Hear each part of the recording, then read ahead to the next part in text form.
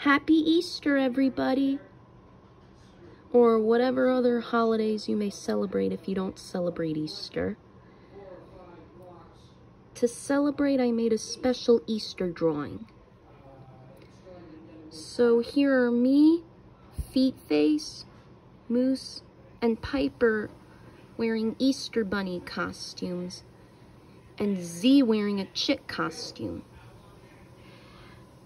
And also Pugsheen, Celestial Pusheenicorn, and Fashion Pusheenicorn are wearing bunny ears.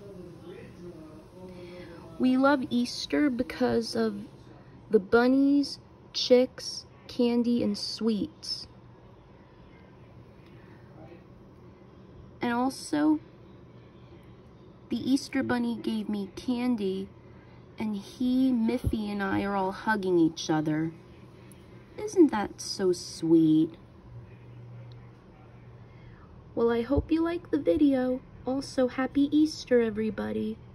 Bye.